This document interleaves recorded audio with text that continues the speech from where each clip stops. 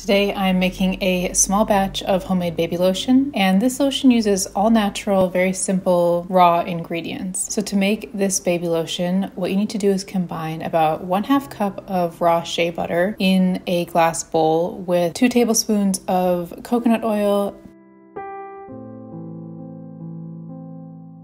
two tablespoons of jojoba oil, and two tablespoons of beeswax pellets, or you can use a cheese grater and grate off some beeswax from a larger block of beeswax if you have that around.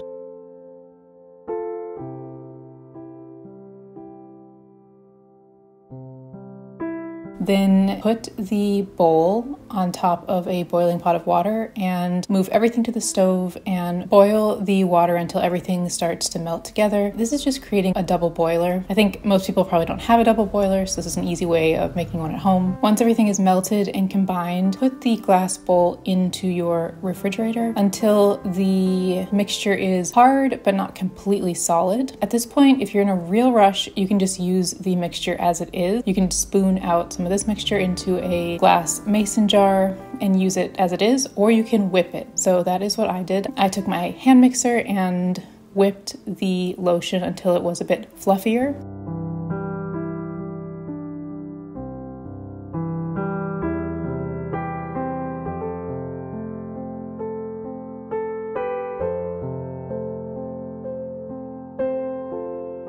Now, I think I pulled mine out of the fridge a little too early, and so after I whipped it initially, I put everything back into the fridge, and then when I pulled it out about a half an hour later, the texture was more of a lotion texture as opposed to a wetter texture. The reason I like to make my baby lotion at home, but also lotion for myself and other members of the family is because, well, there are a few reasons. The first is that it's just simpler. One thing I try to do a lot of is reduce how many decisions I have to make every day.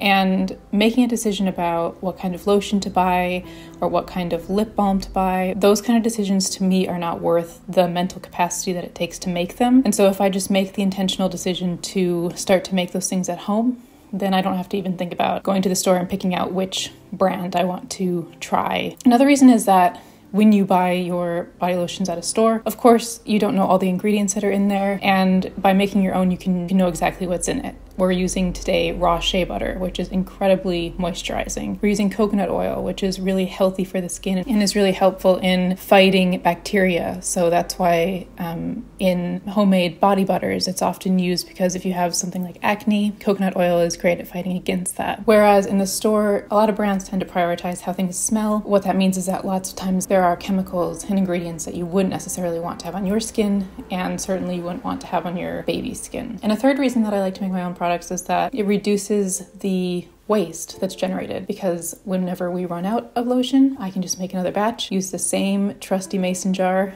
Again, we've only bought one jar and we just keep reusing it. Actually, another final reason that I'll mention is that once you have the ingredients, so once you have shea butter, coconut oil, olive oil, and if you have beeswax, once you have a few of these ingredients on hand, you can make a ton of different things. You can make this baby lotion, you can also make lip balm, you can make body butters, but you can even make homemade candles. So there's a ton you can make if you just do that initial investment in some of these products. Now, I'm not using essential oils in this baby lotion today, and that's because I plan to use it on my very young baby, so under three months, and essential oils aren't recommended for very young babies. But if you have older children or you're making it for yourself, you can add about 15 drops of maybe lavender essential oil or eucalyptus oil or even chamomile. Those are all very relaxing scents that will help with stress relief. This Lotion is great for babies, but it's also good for mothers. So if you're breastfeeding and you have cracked nipples, this lotion can work as a nipple balm and help with cracked nipples. If you would like to bookmark this recipe or print it off for later,